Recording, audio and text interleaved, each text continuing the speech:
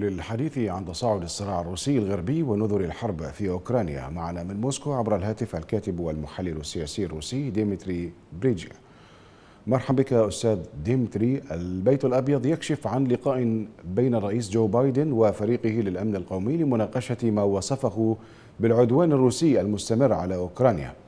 إلى أي مدى تعتقد أن موسكو جادة بالفعل بالبدء بغزو ضد كييف؟ يعني اولا لا أتوقع بأن سوف يكون غزو لكييف. يعني هذا سوف لن يفيد روسيا ولن يفيد الاقتصاد الروسي. نحن نعرف بأن أي هجوم من قبل الروس على أوكرانيا سوف يدمر الاقتصاد الروسي وسوف يتم فرض المزيد من العقوبات وسوف يتم قطع روسيا على نظام البنك الدولي. فهذا الشيء غير مفيد حاليا لروسيا ويعني تصريحات الحكوميين والسياسيين الروس بأن يعني الهجوم على أوكرانيا هو مستحيل وغير وارد حاليا.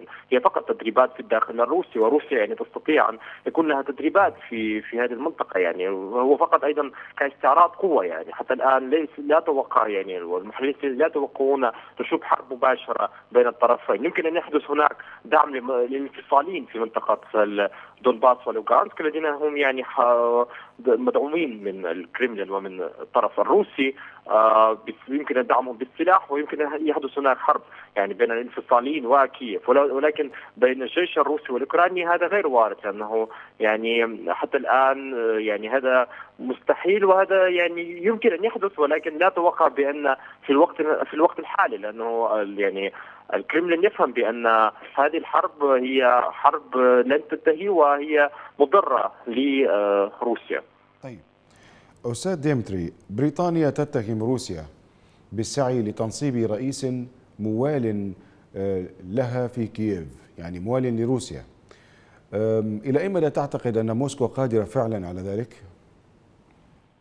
آه روسيا بالفعل يعني في الماضي دعمت الرئيس السابق يعني وكانت يعني عندما حدثت هناك تظاهرات واحتجاج ضد الرئيس السابق آه دعمت الرئيس السابق وحتى هو الآن موجود في روسيا ويمكن أن يحدث هذا الشيء يعني إذا حدث شيء ما في كييف أو حدث انقلاب أو حدث نوع من التغيير السياسي في أوكرانيا أو حدوث مواجهة بين أنصار الرئيس السابق والحكومة الحالية أو يعني الجهة يعني الحزاب السياسيه المختلفة في داخل كييف يمكن أن تستفيد موسكو والكرملين من هذه من هذه الأحداث لكي يعني يدعم الرئيس السابق ويضعه في الحكم. هذا ممكن وارد وحتى هناك شخصيات حاليا موجودة في الحكومة الأوكرانية التي تدعم الكرملين وتدعم سياسات الكرملين. وتريد أن يكون هناك سلام مع روسيا وتريد أن يكون هناك يعني دور أكبر في لروسيا في أوكرانيا. فلذلك يعني هذا وارد ولكن يعني هذا فقط إذا حدث شيء ما في داخل كييف أو في داخل الأوكراني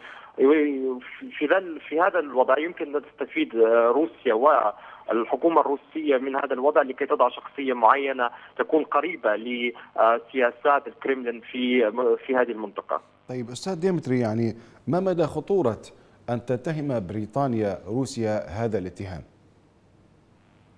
روسيا أو يعني اولا بريطانيا دائما تتهم روسيا وحتى يعني نحن نعرف بأن كان هناك يعني محاولة تسميم في في بريطانيا ولكن يعني هذه الاتهامات لا تغير أي شيء لا تغير سياسات روسيا الخارجيه تجاه قضايا مختلفة. ويعني روسيا لا يعني لا توقع بأن الكرملين سوف ينظر إلى الاتهامات التي يتهمها الاتحاد الأوروبي أو حلف الشمال الاطلسي أو الولايات المتحدة الأمريكية، يعني نحن نعرف بأن الغرب دائما يتهم روسيا ولكن حتى الآن هذه الاتهامات لا تغير من سياسات الكرملين ولا تغير سياسات خارجية سياسات وزارة الخارجية الروسية تجاه القضايا المختلفة تجاه أوكرانيا تجاه الوضع في الشرق الأوسط وتجاه القضايا العالقة بين روسيا والولايات المتحدة الأمريكية طيب أستاذ ديمتري يعني بعد الدعم الأمريكي لأوكرانيا ما احتمالات استخدام روسيا الغاز ورقة للضغط على أوروبا؟ يمكن أن تستخدم روسيا ملفات النفط والغاز يعني ضد ضد أوروبا يعني استخدمته في الماضي و يعني حتى الآن يعني مثلا الرئيس البيلاروسي لوكاشينكو أيضا استخدم هذه الورقة لكونه حليف لروسيا. فليس غريب أن تستخدم روسيا أداة ضغط من استعمال مثلا قطع الغاز أو قطع النفط في من من أوروبا. يعني روسيا دائما تستعمل أوراق أوراق كثيرة لديها ضد الاتحاد الأوروبي ملف اللاجئين وملف الغاز وملفات أخرى. وهذا وارد طبعا وارد. ليس غريبا تستعمل يستعمل الكرملين هذه الأدوات للضغط على الاتحاد الأوروبي لكي يتغير, يتغير. ماذا ستفعل أوروبا بالمقابل لو افترضنا أن روسيا استخدمت فعلا ورقة الضغط على أوروبا وهي الغاز؟ ماذا ستفعل أوروبا؟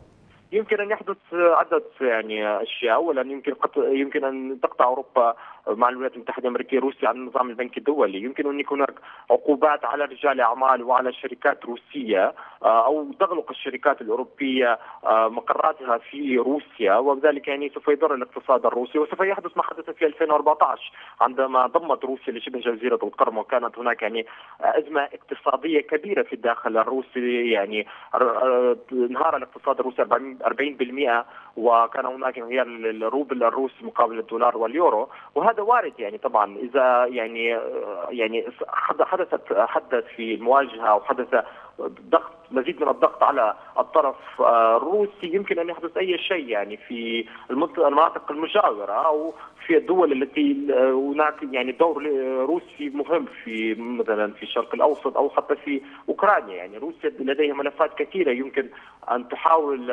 أن تستعملها لكي تضغط على أوروبا والولايات المتحدة الأمريكية.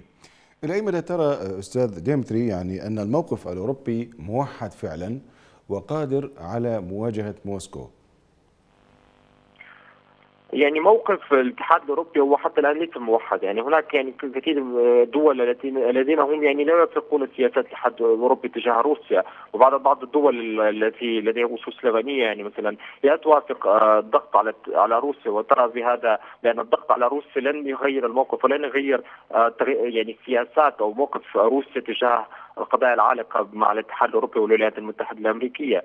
فيعني يعني سياسات أو موقف الاتحاد الأوروبي حتى الآن هي ليست موحده فبعض الدول كما قلت يعني اتجاهها مختلف وحتى هي تريد السلام مع روسيا. ف يعني هذا الموقف هو موقف يعني أيضا محرج لأنه نحن نرى بأن الاتحاد الأوروبي يعني حتى روسيا ترى بأن الاتحاد الأوروبي مجزأ أو ليس لديه موقف واحد تجاه القضايا العالقة.